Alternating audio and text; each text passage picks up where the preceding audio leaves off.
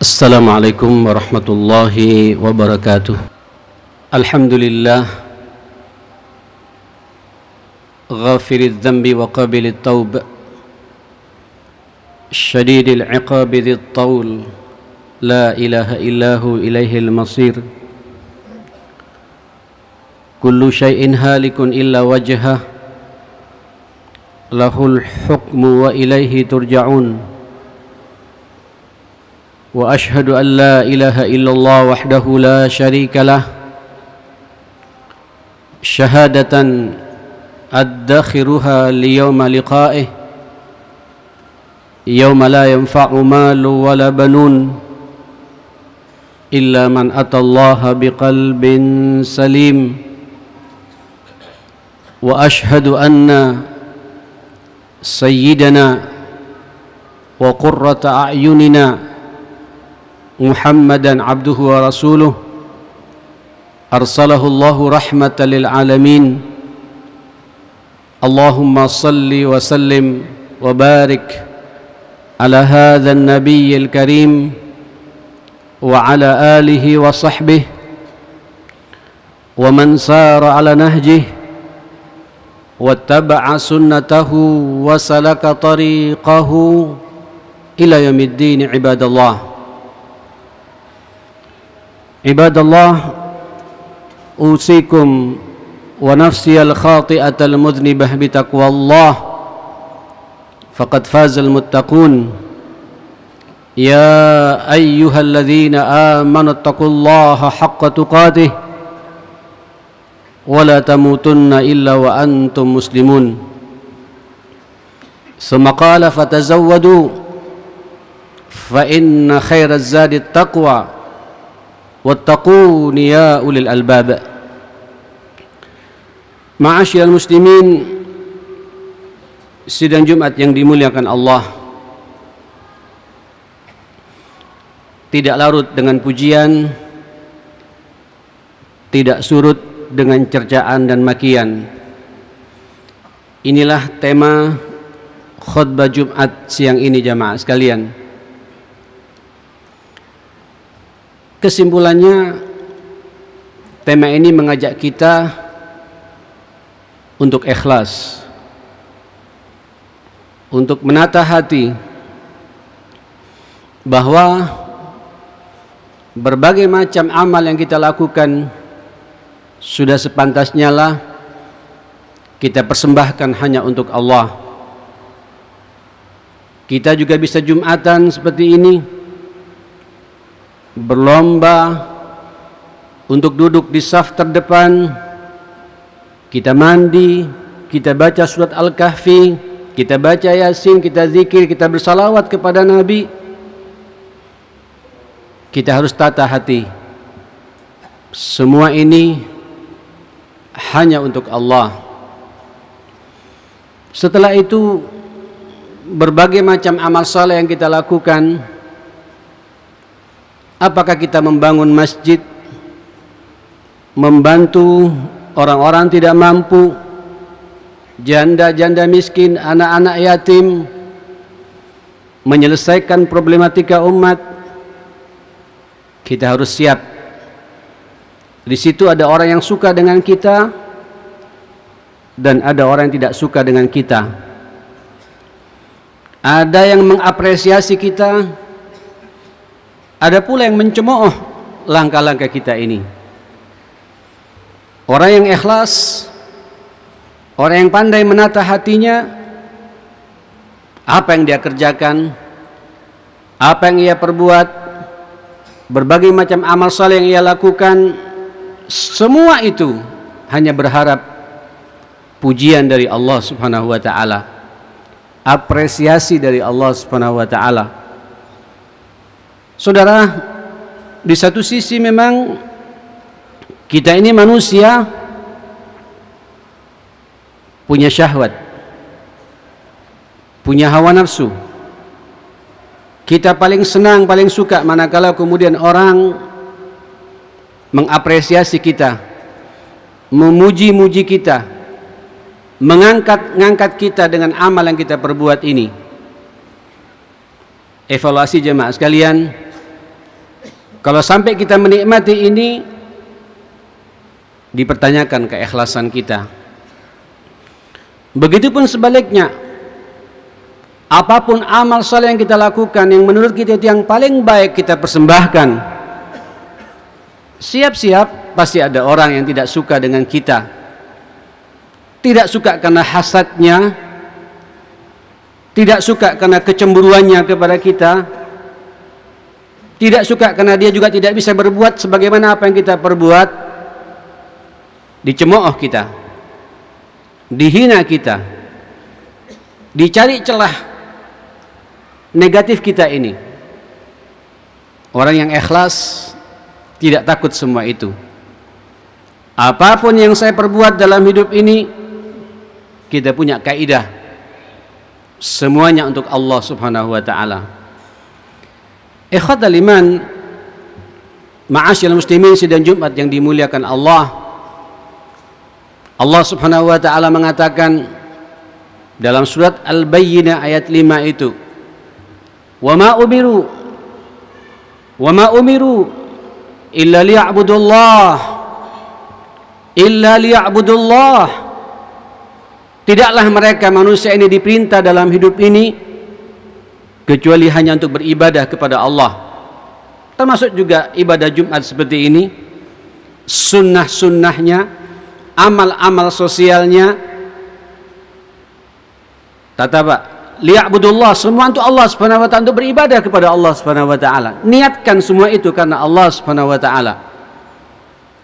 Dan ibadah itu amal seperti itu akan diterima oleh Allah Subhanahu wa taala manakala terpenuhi dua syarat ini ini sepakat para mufassirin kitab tafsir mana pun pula berbicara masalah ini.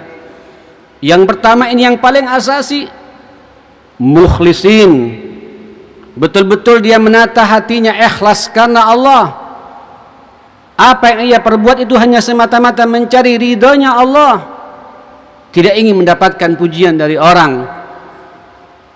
Juga tidak takut manakala ada orang kemudian mencela dan mengevaluasi atau mungkin menghina kita apa yang saya perbuat ini mukhlisin mukhlisin. Karena Allah Subhanahu wa taala. Baru yang kedua lahuddin. Apa yang kita kerjakan ini ada landasan hukumnya ada perintahnya dari Allah dan ada perintahnya dari Rasulullah sallallahu alaihi wasallam. Saya tidak akan bicara bab yang kedua ini tapi tapi topik kita topik ikhlas. Jangan sekalian bicara ikhlas ini amal hati. Bicara ikhlas ini kerja nurani kerja hati kita.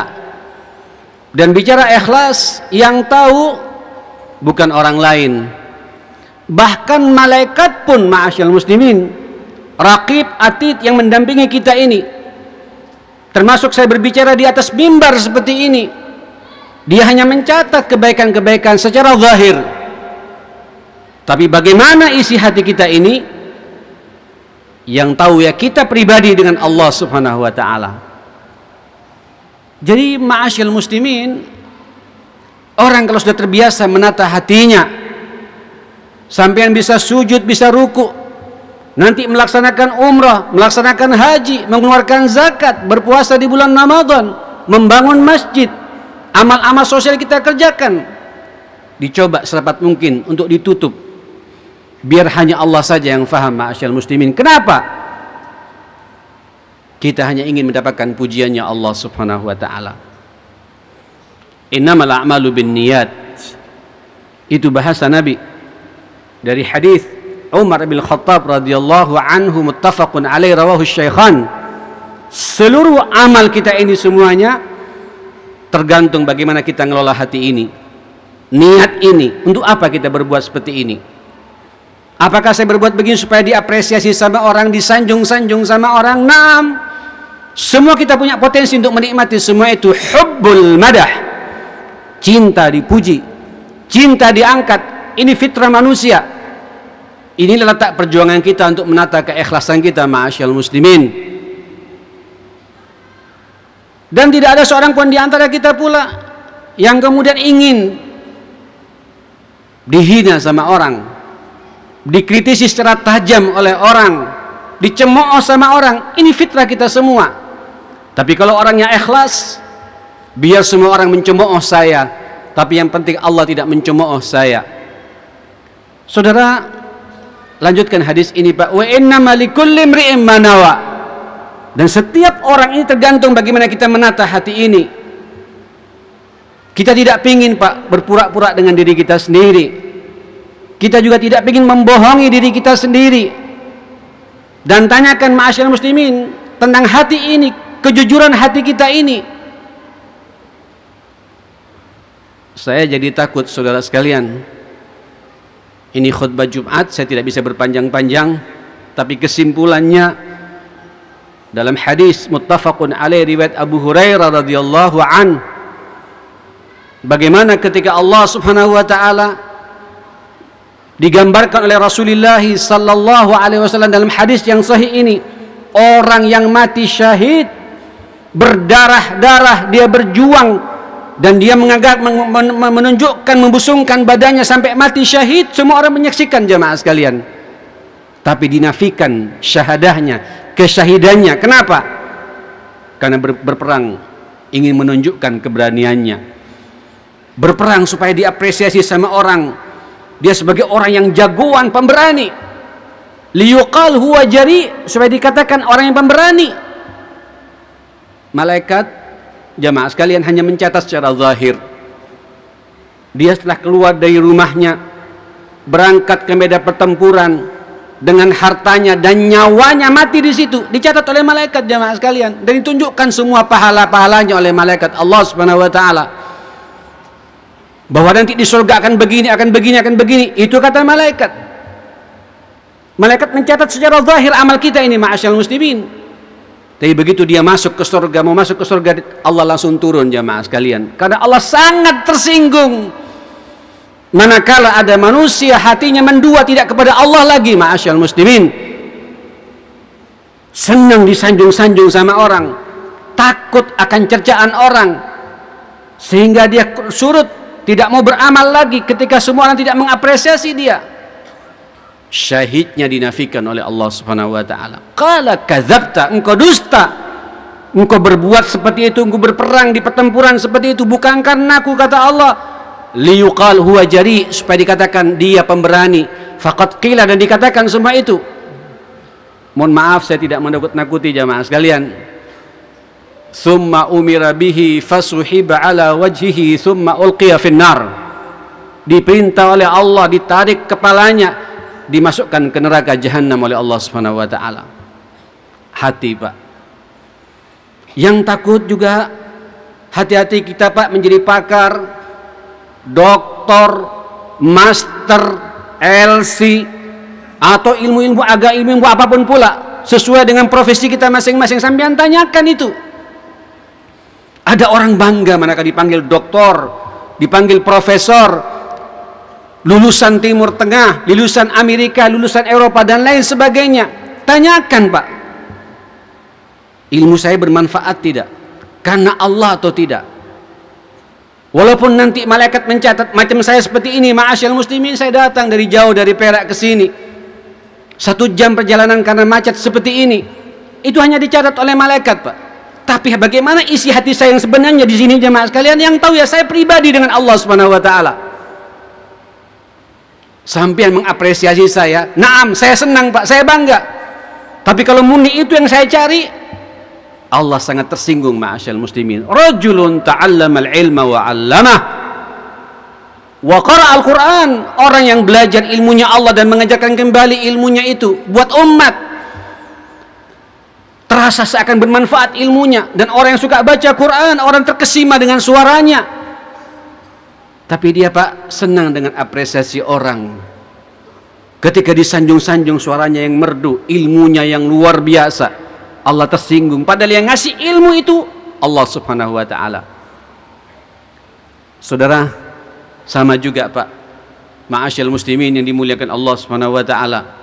Apa kata Allah? Kadab tanggo dusta engkau belajar ilmuku supaya kau dikatakan oleh teman-temanmu relasi-relasimu umatmu sebagai seorang pakar sebagai seorang ilmuwan. Dan kau senang dengan panggilan-panggilan seperti itu. Engkau juga baca Quran supaya dikatakan orang qari atau qari'ah. Dan kau senang dengan panggilan-panggilan seperti itu. Allah tersinggung pak. Thumma umira bihi fasuhiba ala wajhi thumma ulqiya finnar ditarik kepala orang itu. Dimasukkan ke neraka pula oleh Allah Subhanahu wa taala. Hati Pak. Hati hati. Jaga hati ini. Jaga keikhlasan ini. Yang terakhir ini menimpa kita semua. Celengan jalan Pak ya. Tolong Pak. Ma'asyil muslimin tutup uang kita itu Pak. Jangan sampai ketahuan sama orang. Betapa banyak hadis-hadis Nabi menerangkan kepada kita sedekah yang paling baik Pak. Saudara sedang Jumat yang dimuliakan Allah itulah sedekah yang dikeluarkan oleh tangan kanan sampai dirahasiakan sampai tangan kirinya tidak tahu apa yang diperbuat oleh tangan kanannya. Tidak pingin dilihat sama orang, tidak pingin diapresiasi sama orang. Dia ketika ada bangun masjid, tiba-tiba orang itu langsung ngasih semen dari siapa? Dari hamba Allah. Ada orang ngasih batu dari siapa? Dari hamba Allah. Tidak ditulis Pak supaya dipasang di papan. Ini dari fulan, dari fulan, dari fulan. Nah kita bangga dengan begitu. Larut Pak dengan pujian seperti itu. Allah sangat tersinggung ma'asyal muslimin. Saya masih belum berbicara ma'asyal muslimin apa dampak ketidakikhlasan dalam kehidupan kita nyata seperti ini. Orang kalau sudah tidak ikhlas mudah tersinggung. Orang kalau sudah tidak ikhlas dibuat sumpek kehidupannya oleh Allah Subhanahu wa taala. Orang kalau sudah tidak ikhlas dicabut keberkahannya oleh Allah. Dan yang paling kita takuti ikhlas apa yang kita perbuat ini ma'asyal muslimin haba amman tidak punya nilai di mata Allah Subhanahu wa taala. Mudah-mudahan jadi perenungan buat kita semua. Monggo tata hati kita minta kepada Allah Subhanahu wa taala mudah-mudahan Allah memberikan keikhlasan terus-menerus dalam kehidupan ini. Aku luma tasma'un wa astaghfirullah li walakum fastaghfiruh innahu huwal ghafurur rahim. Ahmaduka rabbi wa ashkuruk أحمدك حمدا كثيرا طيبا مباركا فيه على كل حال. حمدا يوافي نعمه ويكافي مزيده. يا ربنا لك الحمد كما ينبغي لجلال وجهك وعظيم سلطانك. لا إله إلا أنت. سبحانك إنا كنا من الظالمين. وأشهد أن لا إله إلا الله وحده لا شريك له. وأشهد أن سيدنا وحبيبنا محمدا عبده ورسوله.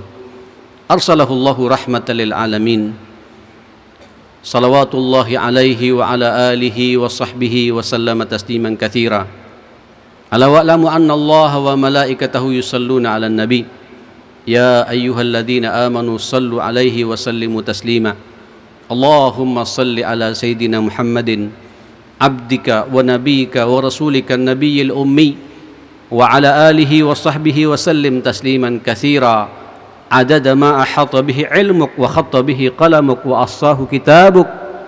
وارض اللهم عن ساداتنا أبي بكر وعمر وعثمان وعلي وعن الصحابة أجمعين وعن التابعين وتابعيهم بإحسان إلى يوم الدين عباد الله.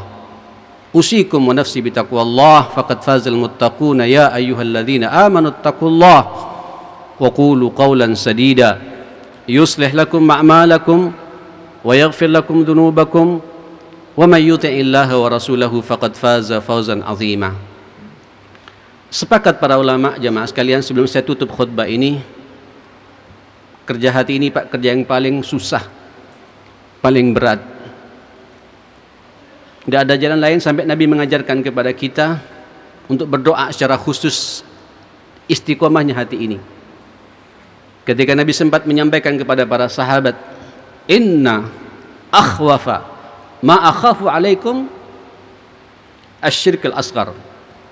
Sesungguhnya yang paling aku takuti kepada kalian dalam hidup ini itulah syirik yang sangat kecil, yang sangat samar. Syirkul khafi, Para sahabat mengatakan apa itu? Apa? As-sum'ah.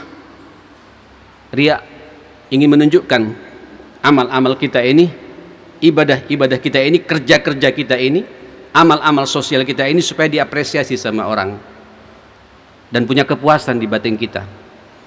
Padahal Allah sangat tersinggung kepada kita.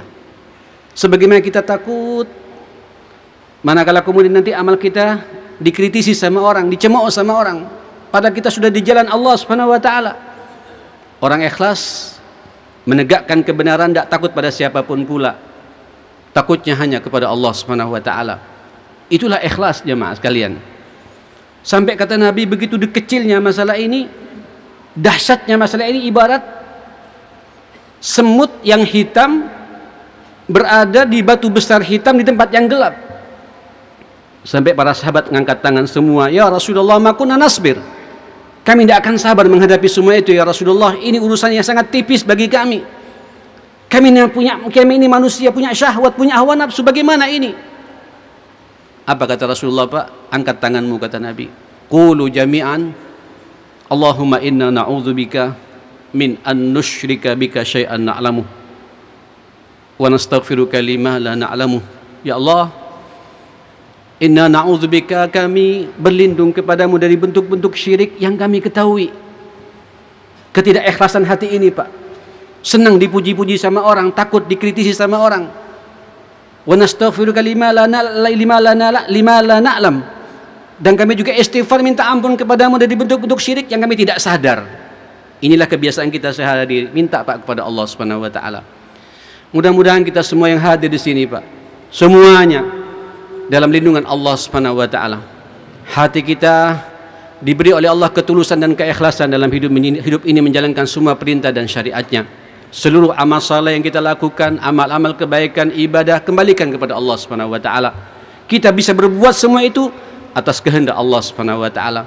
Akui semua kesalahan kita, dosa-dosa kita, istighfar dan minta ampun kepada Allah. Saya yakin Allah akan mengampuni semua dosa-dosa kita. Allahumma ighfir lil muslimin wal muslimat ahya'i minhum wal amwat. Allahumma 'izzal Islam wal muslimin وأذل الشرك والمشركين ودمر أعداءك أعداء الدين. اللهم حبب إلينا الإيمان وزينه في قلوبنا وكره إلينا الكفر والفسوق والعصيان واجعلنا من الراشدين. واجعلنا من عبادك الصالحين واجعلنا من جنودك المخلصين. برحمتك يا أكرم الأكرمين. اللهم إنا نسألك الهدى والتقى والعفاف والغنى. اللهم إنا نعوذ بك من جهد البلاء ودرك الشقاء وسوء القضاء وشماتة الأعداء. برحمتك يا أكرم الأكرمين ويا أرحم الراحمين. اللهم ربنا آتنا في الدنيا حسنة وفي الآخرة حسنة وقنا عذاب النار. وصلى الله على سيدنا محمد وعلى آله وصحبه وسلم تسليما كثيرا والحمد لله رب العالمين عباد الله. إن الله يأمر بالعدل والإحسان وإيتاء ذي القربى وينهى عن الفحشاء والمنكر والبغي. يعظكم لعلكم تذكرون واذكروا الله يذكركم واشكروا على نعمه يزدكم. ولا ذكر الله أكبر والله يعلم ما تصنعون وأقم الصلاة.